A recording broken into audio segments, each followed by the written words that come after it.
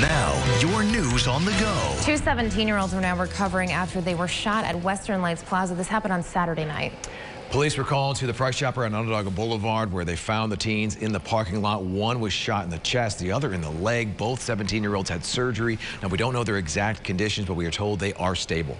The Oswego County couple arrested in their son's death are expected back in court today. Lisa and Anthony Waldron both face charges in Jordan Brooks' death. He died last May, but investigations since have been revealing disturbing details of neglect and malnutrition. The couple is expected to appear in the town of Palermo court later today. There's no agreement on the state budget yet. The deadline was Friday. Now the earliest it can pass is today. Local lawmakers met virtually over the weekend expressing frustrations over what's holding up the budget, including the $600 million plan to build a new football stadium for the Buffalo Bills.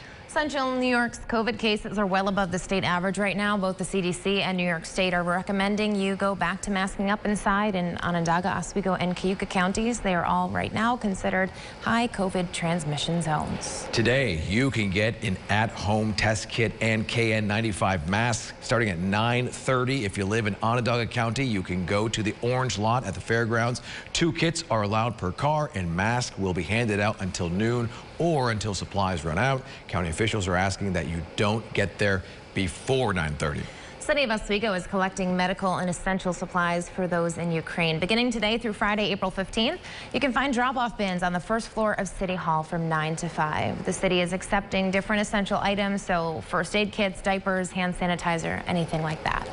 It was upset central over the weekend in the NCAA basketball tournament. South Carolina handing UConn women's basketball head coach Geno Auriemma his first loss. Listen to this, in 12 NCAA title games. The Huskies lost 64 to 49. Last year, South Carolina lost the final four at the buzzer.